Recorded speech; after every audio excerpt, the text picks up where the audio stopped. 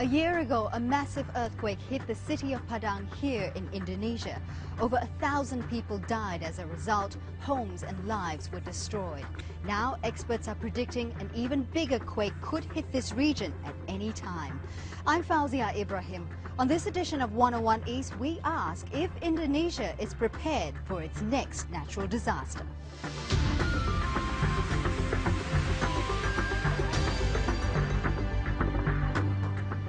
Indonesia is known to be the most natural disaster prone country in the world. And this city of Padang is especially vulnerable as it sits on an active fault line. And yet the fatalities from last year's earthquake was as much blamed on human error as it was on the natural disaster itself. Drew Ambrose reports.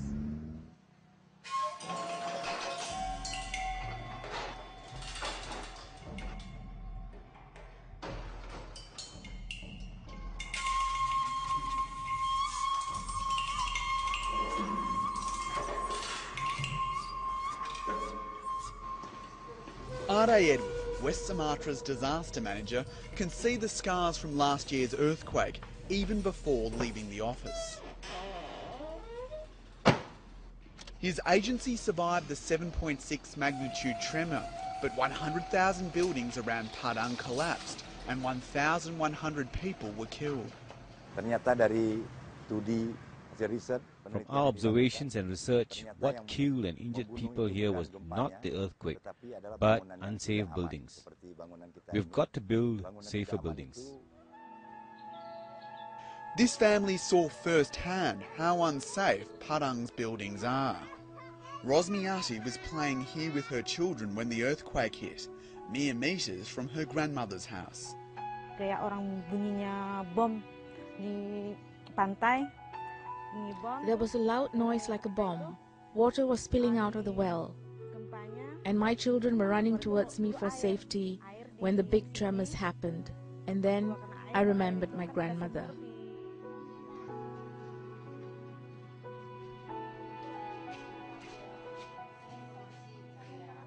Rushing in, she found her grandmother crushed to death under a fallen brick wall.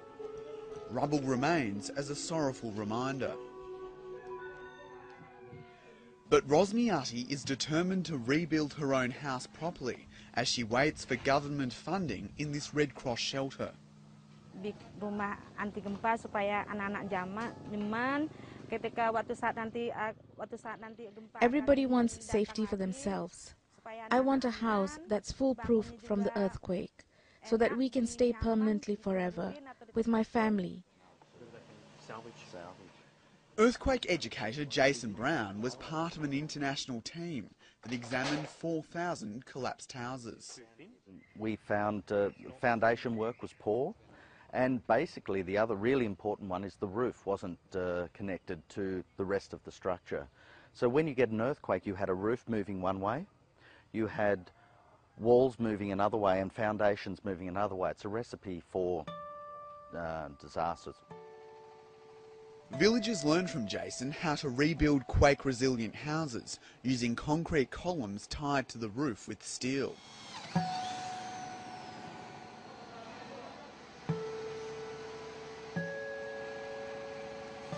Safeguarding Sumatra's buildings is crucial because seismologists predict a larger 8.9 magnitude quake could hit within a decade.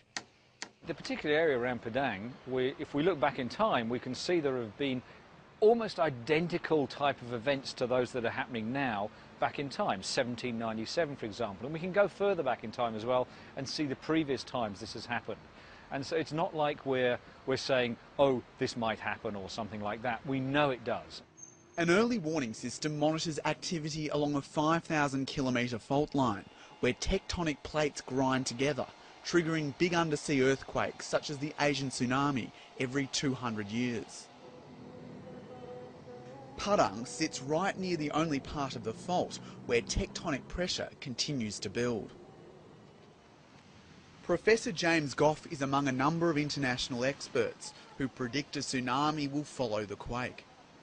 They say the land is being pulled downwards as the Australian plate is being forced down underneath the Sunda plate.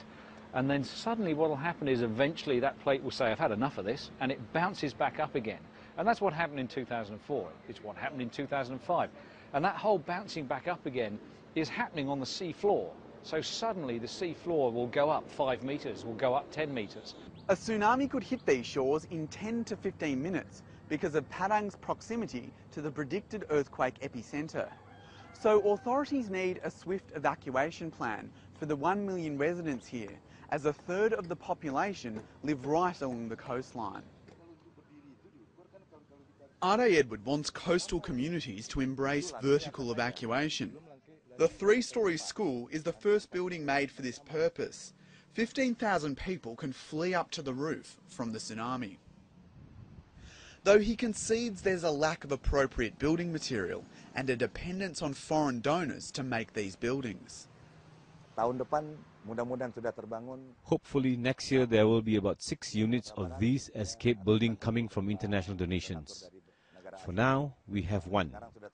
Soon, every public building such as schools and hospitals will be next. And the government official responsible for infrastructure believes 40 buildings are required for vertical evacuation to work here. So far, they can only finish one building a year. We need some place to be free for building some uh, uh, vertical evacuation building. Okay, but uh, if you know, the, all the place along the coastal area is very dense. A lot of people live there. So I think uh, this is the, uh, the very uh, hard work for the city government. Fleeing by foot along evacuation roads is currently the only viable escape route out of Padang. However, only two of the four roads are built, and if clogged with cars, they could be death traps. Of more concern, the provincial government says this road system will take a decade to complete. Based on the situation right now, considering the budget of the government, considering the situation of the land to be free for set up or to complete the all infrastructure, I think it takes at least 10 years to complete all the infrastructure for uh, anticipate the tsunami, okay? For I think I am the infrastructure man. Okay, okay. If you're talking about infrastructure, it takes time. If you are talking about infrastructure, we're not talking about one month or two years. Okay, we're talking about five, ten, or twenty years.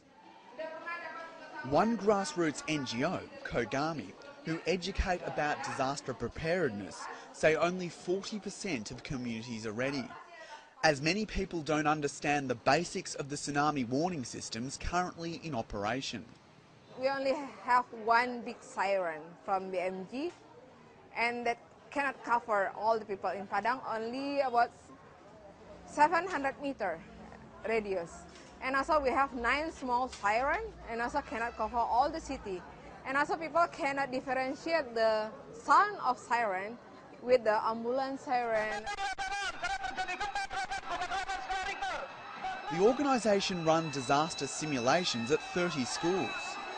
They urgently want to roll it out across the province, but for the last 18 months, they've had to wait for government approval.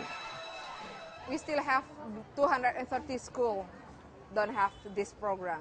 And even though like international NGO or UN agency give us uh, funding, but that's like limited, you know, so we have to go to maybe 10 schools for each funding. So that's very limited and take long time.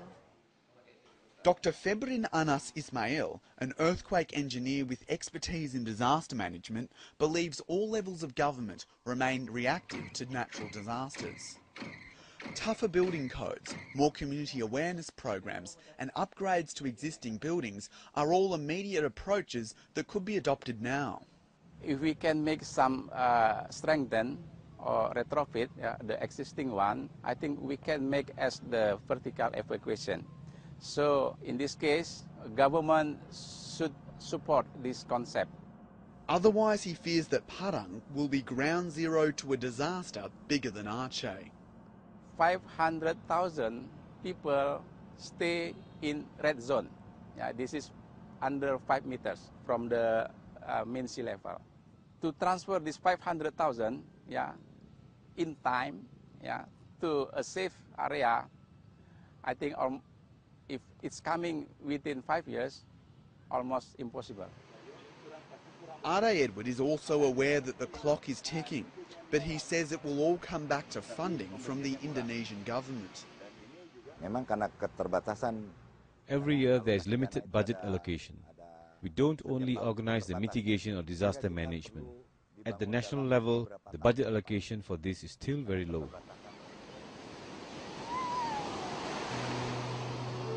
It's little solace for victims still shaken from last year. With the shore a five minute walk from her house, Rosmiati has grave doubts that Padang is ready. Kalau tsunami itu datang, pasti air Authorities say look to the sea, and when the tide is out, prepare for a tsunami. We will try to save ourselves by running, but I'm scared because there are no big buildings around here.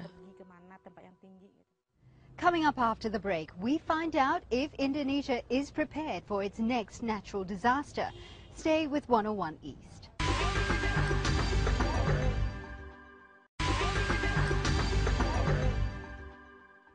And welcome back to 101 East. This week we come to you from the city of Padang in Sumatra, Indonesia.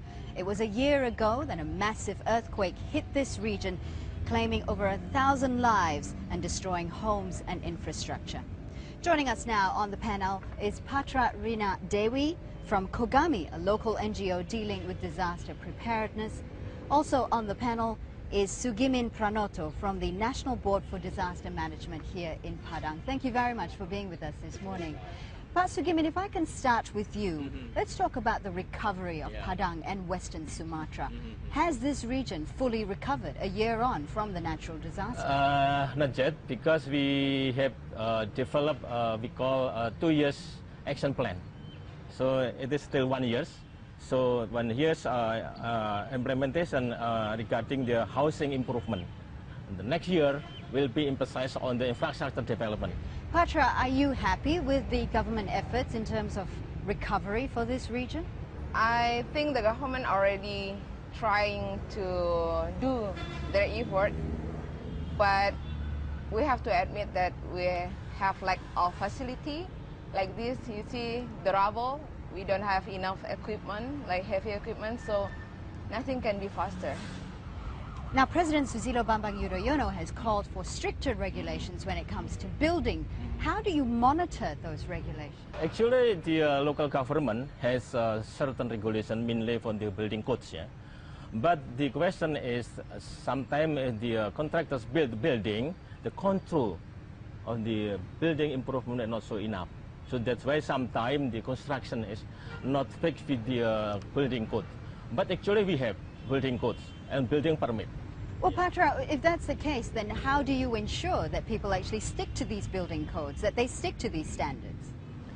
People know that they have to obey to the reg- regulation, but if there is no control, so you can do everything you want. Like if I have a house, I want to develop my house, so no control me. There is no one controlling me, so Well, I if can develop the case- any, No, no, no, anything. actually not like that. Yeah. case, Who controls then? Yeah. I mean, who is the one who's supposed to enforce these controls, these regulations? Yeah. Why isn't the local government looking after this? Yeah, yeah. Actually, the uh, local government has uh, we call Dinas uh, uh, Human Settlement Office. His office responsible to control all the building uh, construction, but for the uh, house uh, people house community improvement, I think it's a little bit uh, different. It is not belong to the uh, uh, office of uh, human settlement uh, uh, responsibility. So you're saying that bureaucracy basically is stopping people from living in safe houses? Uh, yes. That's what you're saying? yes. Patra, if that's the case, how do you think this can be overcome? How can this problem be overcome? government has to make really good regulation, not only regulation. They have to have responsibility to control everything. Uh, the, we make the regulation to make people understand. But then if people has opportunity to break the regulation, so who will be responsible? Again, back to the government. Now, experts have been predicting that another major earthquake will hit this region at any time now. Pak Sugimin, if I can ask you this question, do you think the community is now better prepared to deal with a natural disaster compared to a year ago? Yes, I, uh, I thought that the uh, people and community now are fully aware about the uh, disaster preparedness because they... Uh, they may be fully aware, but are they prepared? Do they know what to do? Do they know where to go? Yeah, because uh, so far the government has been provide uh, training activities, disseminating the uh, uh, uh again the disaster threat, and then uh, also we provide the kind of training modular. And then also sometime we uh, provide curricula in the uh, university and private school. It is. Uh, there's a lot of training and there's a, a lot, lot, of, curriculum yeah. and a lot of information that's going out yes, there. That's right. But is it being soaked up? Is it being accepted? Is it being implemented? Yeah, it is. Uh, I think not. it is uh, should be should be monitored actually. Yeah, but government Who's responsible is it? Whose responsibility is it to monitor that this information is being implemented? Mm -hmm. Government, local government. Local government meaning the kabupaten or district level and city level responsible to monitor how far the community already aware about the uh, uh, pre disaster preparedness. But so far, government, local government have been provided the uh, activities dealing with uh, disaster preparedness, like uh, establishing the early warning system, and providing the uh, uh, information through media. Then also we uh, create the new technology to build buildings in order to save the earthquake. Patra, it seems that there's a lot of information that's out there. There's a lot of courses that people can definitely take to prepare themselves for the next natural disaster. But is that information going down to the right people? Are the community, will the community be prepared for the next natural disaster? Actually, talking about disaster preparedness is not that as simple as that. You know, if you just give information, short information to the people, people won't understand. Hmm. Even though you already installed the early warning, but if you cannot, if you don't come to the community and explain to them how the uh, the mechanism and how they should respond, the people don't understand. So we have to come to the community, assist them at least six months. But up to now, I don't see that activities from the government initiative. Are you saying then that millions of dollars have been spent since the 2004 Indian Ocean tsunami? Millions of dollars, billions of dollars have been spent to try and prepare communities for the next natural disaster, but they're not prepared. Uh, we can say that community now has knowledge, but not, not all of them know how to do the appropriate response because they know that we already have technology, we already have, uh, I mean, warning system installed, but they know how, they don't know exactly how to respond and where to go. Because a different area has different route, so they have to train, they have to try to test the route, but not all the community in Padang do that kind of simulation yet. We're talking about local community here, but what about emergency response teams? How prepared are they when it comes to actually responding to emergencies? Pak Sugimin? Yeah, sometimes coordination in, in place yeah, is a little bit uh, uh, problem, but actually this is uh, belong to the uh, uh, central level and regional level government. Again, it seems like bureaucracy seems to be getting in the way of saving people's lives. Patra, would you agree with that? nah, and also we have obstacle, you know, like we just established our emergency management office in Padang City like one year. So everything new. This is the obstacle, you know, so we cannot see the, we cannot say that SOP is already in place. So it seems how then, to implement it. Well, it seems then that if experts are right, and if another natural disaster was to strike this particular region, this region would not be prepared for it. Yeah, maybe 30%. Only 30%. So you're expecting more fatalities then? No, actually, to make uh, community realize, make community aware, it is not so easy. We, we have to uh, provide information uh, many times to them. With Indonesia experiencing natural disasters pretty much every year, why do you think Indonesia is not leading the world when it comes to emergency response and relief? Because we just shift our paradigm from emergency response to disaster management holistic, like uh, before, then during emergency and after emergency. So we just learn about that. But then sometimes for NGO, we are a bit frustrated, you know, because if we have lack of uh, support and commitment from the government, so we cannot do anything because they have authority. Like Kogami, for example, already tried to uh, help the government to make curriculum for school. But now, just to sign the legalization, we need to wait until one half year, you know. Are you then saying that despite Indonesia being on the Pacific Rim of fire, the Indonesian government is not putting disaster preparedness, preparedness as a priority? Yeah. No, no, I think it is not so true. Actually, the uh, government uh, uh, paying attention to the uh, preparedness activities. Yeah, They are. yeah. But again, as you said, bureaucracy is getting in the way. Sometime in the field level, like uh, in in case in Padang, uh, monthly we conduct uh, general coordinating with the line agencies, international NGOs, something like that. So actually, in the level, it's good enough. But sometime in the uh, center level, coordination between the line ministry, uh, uh, concerning the budget allocation, how to coordinate, how to put the budget into the uh, uh, line agencies, sometime uh, not so uh, uh, running well. Actually, mostly the reason is always budget, you know. if you come to the government and they will say that we don't have any budget. Uh-huh. So Yeah.